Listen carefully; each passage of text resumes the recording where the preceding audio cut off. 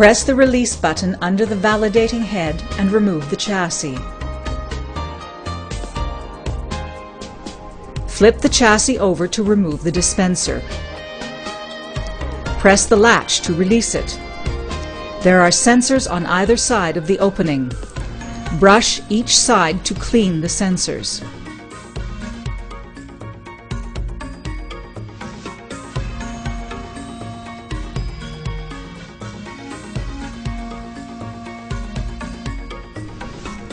Spray compressed air on the sensors from both sides.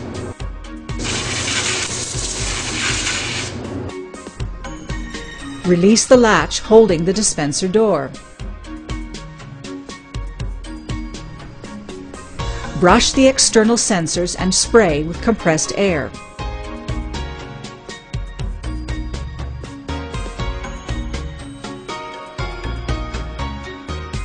Do the same to the internal sensor.